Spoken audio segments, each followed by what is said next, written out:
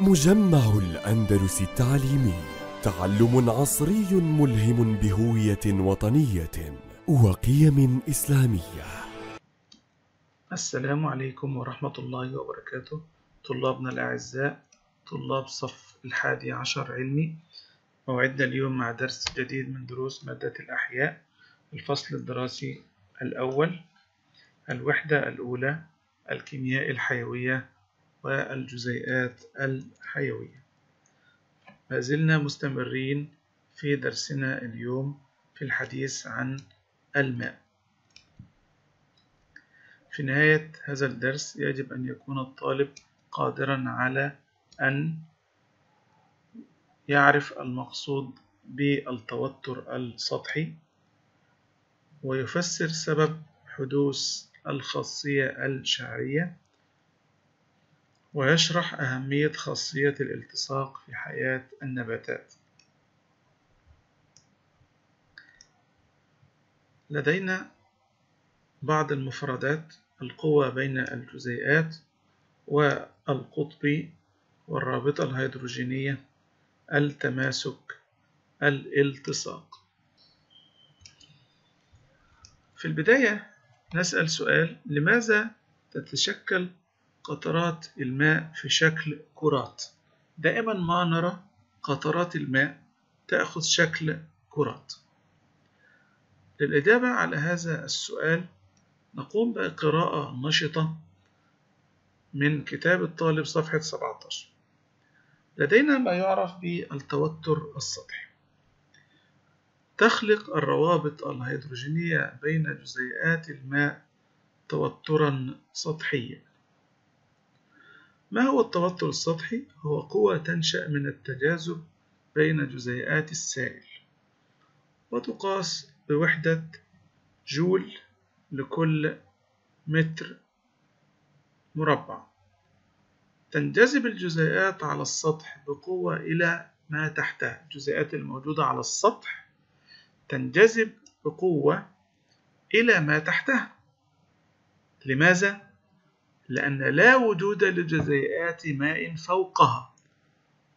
تنجذب الجزيئات الماء الموجودة على السطح بقوة إلى ما تحته لأنه لا وجود لجزيئات ماء فوقها. ويسبب التوتر السطحي جذب سطح الماء إلى نفسه كما هو ظاهر في هذا الشكل. هذا الجذب لجزيئات الماء إلى الأسفل دائما وإلى بعضها البعض يحول شكل قطرة الماء إلى كرة. لماذا؟ لأن الكرة الكرة كشكل هندسي تمتلك أصغر سطح. دائما جزيئات الماء تحاول أن تكون لديها أصغر سطح لأنها تنجذب إلى بعضها البعض وإلى ما هو أسفل منها.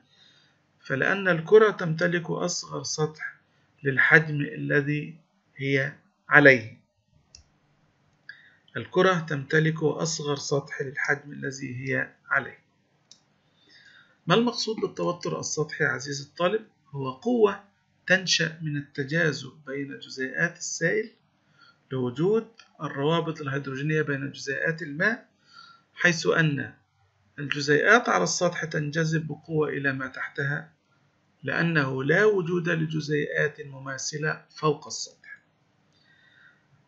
فسر تأخذ قطرة الماء شكل كرة.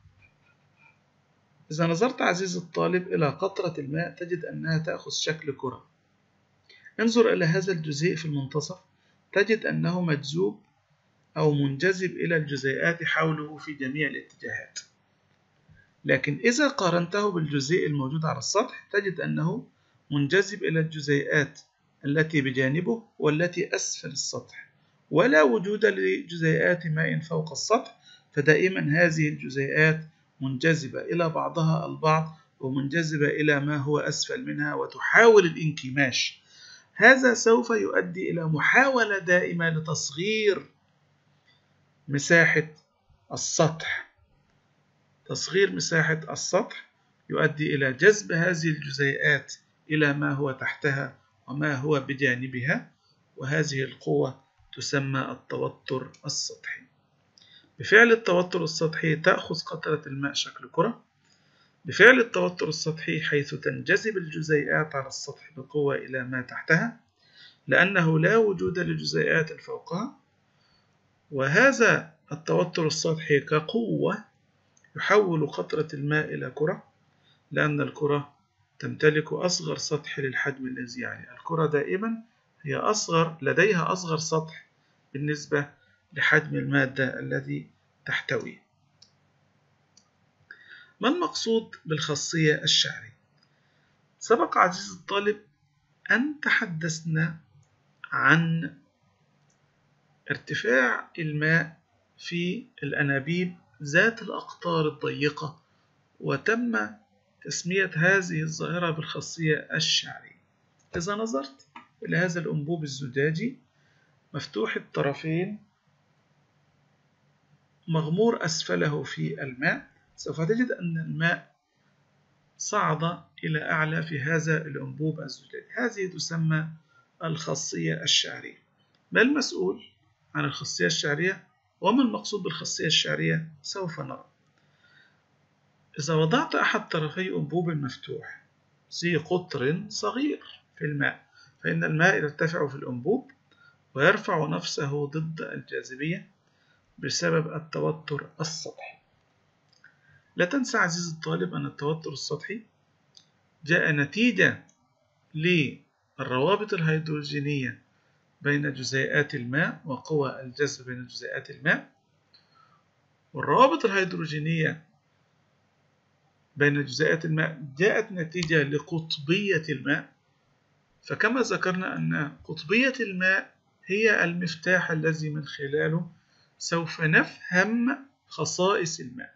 جميع خصائص الماء مترتبة على القطبية التي عليها جزيء الماء. لماذا يميل الماء الملامس للزجاج إلى الانسياب على طول سطح إذا نظرت إلى المطر عبر النافذة فسوف تجد هذا الشكل. قطرات الماء تظل ملتصقة على الزجاج وتنساب على طول السطح. يوجد روابط هيدروجينية تجذب جزيئات الماء إلى أسطح معينة ومنها الزجاج. إذا عزيز الطالب الروابط الهيدروجينية لا توجد فقط بين جزيئات الماء بعضها البعض مما يترتب عليه التماسك ولكن أيضا توجد الروابط الهيدروجينية بين جزيئات الماء وبعض الأسطح مثل الزجاج. وهذا يؤدي إلى خاصية أو قوة جديدة بين جزيئات الماء. وهذا السطح مثل الزجاج تسمى الالتصاق. إذا يوجد التمسك كقوة جذب بين جزيئات الماء بفعل الروابط الهيدروجينية ويوجد الالتصاق كقوة جذب بين الماء وبعض المواد مثل الزجاج بفعل الروابط الهيدروجينية التي تتكون بين جزيئات الماء. والزجاج إذا نظرت إلى هذين الأنبوبين عزيزي الطالب مفتوحين الطرفين هذا الأنبوب زجاجي وهذا الأنبوب شمعي. كلاهما مغمور في حوض به ماء. ماذا تلاحظ؟ في حالة الأنبوب الزجاجي سوف يصعد الماء إلى أعلى بالخاصية الشعرية ولكن في حالة الأنبوب الشمعي لن يصعد الماء رغم أن الأنبوب الشمعي مفتوح الطرفين أيضا مثل الأنبوب الزجاجي ولكن نلاحظ أن الأنبوب الشمعي يدفع الماء إلى أسفل عكس الأنبوب الزجاجي الذي صعد فيه الماء إلى أعلى عكس تأثير الجاذبية. ما سر الاختلاف بين سلوك الماء في الحالتين. دعنا نرى عزيزي الطالب أن جزيئات الماء قطبية. ولكن جزيئات الشمع غير قطبية. ما معنى ذلك؟ معنى أن جزيئات الماء قطبية أن جزيئات الماء تنجذب أولا إلى بعضها البعض. مما يؤدي إلى حدوث التماسك وتتشبث مع بعضها. وأيضا بفعل أن جزيئات الماء قطبية تنجذب أيضا إلى الزجاج المصنوع منه هذا الأنبوب وهذا يضيف قوة إضافية إلى قوة التماسك. بين جزيئات الماء يضيف قوة إضافية تسمى قوة الالتصاق بين الماء والزجاج. ودائما الماء يحاول أن يقترب جزيئات من بعضها البعض بفعل التوتر السطحي فجزيئات الماء تحاول أن تقترب وتتشبث ببعضها وتنجذب لبعضها ويكون السطح أقل ما يمكن. سطح الماء نتيجة للتوتر السطحي المرتفع للماء فإن قوة الالتصاق تسحب عمود الماء بأكمله. تقوم بسحب عمود الماء إلى أعلى. بينما جزيئات الشمع جزيئات لا قطبية تنجذب جزيئات الماء القطبية بعضها إلى بعض. ولكن هذه القوة أكبر بكثير مما تنجذب به جزيئات الماء إلى جزيئات الشمع لأن جزيئات الشمع لا قطبية ولهذا السبب فإن أنبوب الشمع يضغط سطح الماء إلى الخارج ولا يصعد الماء إلى أعلى. سبب الاختلاف الرئيسي في الحالتين جزيئات الماء قطبية وجزيئات الشمع لا قطبية. جزيئات الماء بينها قوة تماسك وبينها وبين الزجاج قوة تلاصق ويوجد توتر سطحي مرتفع للماء ولذلك فإن قوة الالتصاق تسحب جزيئات الماء المتماسكة إلى أعلى وكلما تصعد إلى أعلى تتماسك أكثر بفعل قوة الالتصاق مع الزجاج الموجود في جدار الأنبوب. لكن لدينا هنا جزيئات الشمع لا قطبية أي نعم تنجذب جزيئات الماء؟ إلى بعضها بقوة التماسك ولكن قوة التجاذب بين الماء والشمع اللا قطبي تكاد تكون منعدمة ولهذا السبب فإن أنبوب الشمع يضغط سطح الماء إلى الخارج بدلا أن يصعد يبتعد عن فوهة الأنبوب. سؤال على الهدف الثاني. ما سبب حدوث الخاصية الشعرية أي صعود الماء في الأنابيب ذات الأقطار الضيقة. تجذب الروابط الهيدروجينية جزيئات الماء إلى أنواع معينة من الأسطح مثل الزجاج وهذه تسمى خاصية الالتصاق. وكذلك نتيجة للتوتر السطحي. فإذا وضعنا أحد طرفي الأنبوب المفتوح ذي القطر الصغير في الماء فإن الماء يرتفع في هذا الأنبوب ضد الجاذبية وهذا ما يسمى بالخاصية الشعرية ما المقصود بالالتصاق؟ الالتصاق هو قوة تجذب جزيئات الماء إلى أنواع معينة من الأسطح مثل الزجاج بفعل الروابط الهيدروجينية بين جزيئات الماء والمادة المصنوع منها هذا السطح كيف ينتقل الماء من التربة إلى الجذور عبر سيقان النباتات حتى يصل إلى الأوراق. إذا نظرت إلى هذه الشجرة ما هي القوة التي تؤدي إلى ارتفاع الماء من جذور الأشجار عبر السيقان إلى الأوراق؟ إذا نظرنا في هذا القطاع من جذع الشجرة سوف نجد أن هناك خلايا تسمى خلايا الخشب. خلايا الخشب عبارة عن أنابيب